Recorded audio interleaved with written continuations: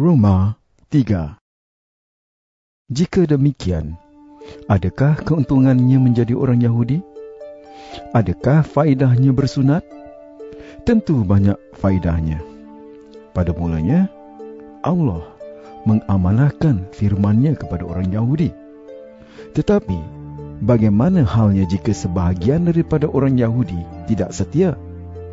Adakah kerana hal itu Allah menjadi tidak setia? Tentu tidak. Allah sentiasa benar walaupun setiap orang berdusta.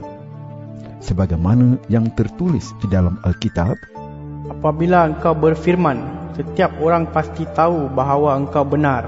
Apabila engkau dituduh, engkau sentiasa menang.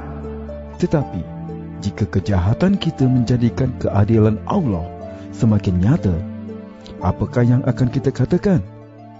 Adakah Allah tidak adil apabila dia menghukum kita? Di sini aku bercakap secara manusia. Sekali-kali tidak. Jika Allah tidak adil, bagaimanakah dia dapat menghakimi dunia ini? Jika perbuatanku yang tidak benar menyebabkan apa yang benar tentang Allah semakin nyata sehingga dia dipermuliakan, mengapa aku disalahkan sebagai orang berdosa? Mengapa kita tidak berkata, marilah kita lakukan kejahatan supaya timbul kebaikan? Sebenarnya, ada beberapa orang yang menghina aku dengan tuduhan bahawa aku mengatakan demikian. Allah akan menghukum mereka dengan sepatutnya. Baiklah, adakah kedudukan kita sebagai orang Yahudi lebih baik daripada kedudukan orang bukan Yahudi? Sekali-kali tidak. Sudah aku jelaskan bahawa semua orang dikuasai dosa, baik orang Yahudi maupun orang bukan Yahudi. Seperti yang tertulis di dalam Alkitab. Tidak seorang pun yang benar di sisi Allah. Tidak seorang pun yang memahami apa yang benar. Dan tidak seorang pun menyembah Allah. Semua orang sudah menjauhkan diri daripada Allah. Semuanya sudah sesat. Tidak seorang pun berbuat benar. Seorang pun tidak. Kata-kata dari mulut mereka menyebabkan kematian. Tipu muslihat mengalir dari lidah mereka. Dan fitnah seperti bisa ular tersembur dari bibir mereka. Mulut mereka penuh dengan kutuk dan cerca. Mereka cepat mencederakan dan membunuh orang. Mereka menyebabkan kebinasaan dan kehancuran di mana-mana. Mereka tidak mengikut jalan kedamaian dan mereka pun tidak menghormati Allah. Sekarang kita tahu bahawa semua yang tertulis di dalam Taurat adalah bagi mereka yang hidup di bawah Taurat.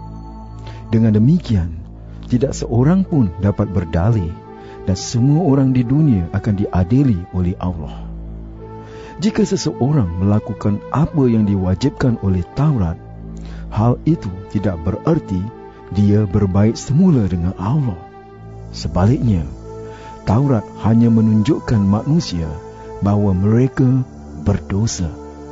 Tetapi sekarang Allah sudah menunjukkan jalan bagaimana manusia dapat berbaik semula dengannya.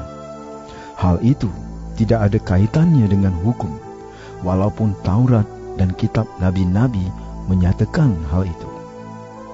Allah memungkinkan orang berbaik semula dengan dia hanya melalui kepercayaan mereka kepada Yesus Kristus. Allah melakukan hal itu untuk semua orang yang percaya kepada Kristus.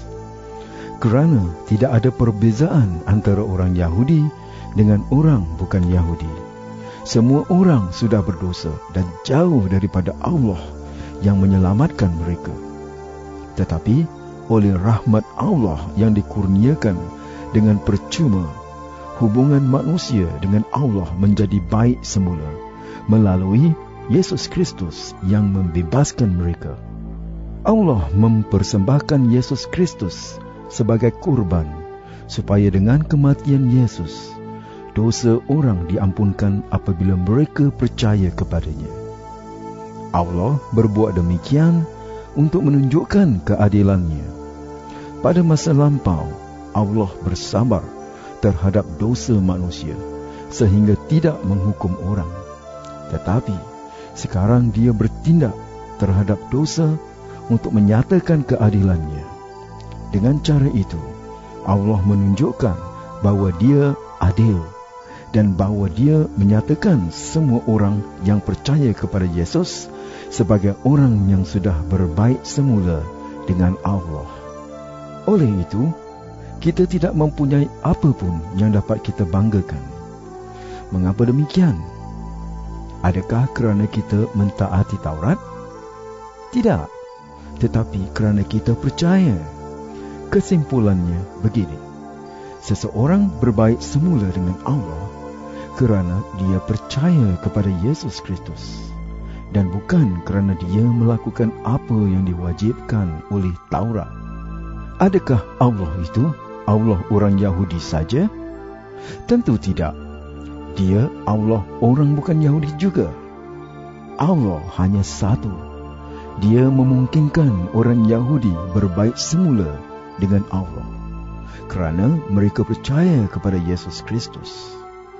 Dia juga yang memungkinkan orang bukan Yahudi berbaik semula dengan Allah kerana mereka percaya kepada Yesus Kristus. Adakah hal ini bererti bahawa kerana kita percaya kepada Yesus Kristus, kita boleh memansuhkan Taurat? Tentu tidak.